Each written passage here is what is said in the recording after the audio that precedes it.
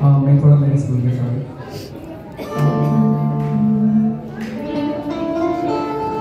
Sir Arijit Singh दो लफ्ज किया हर किसी को नहीं मिलता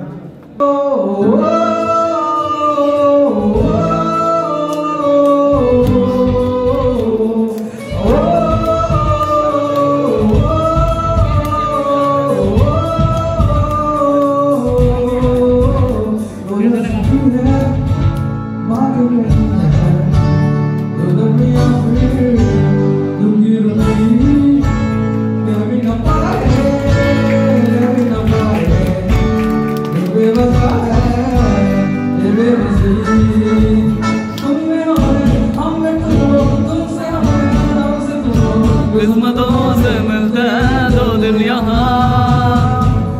किसी को नहीं मिलता।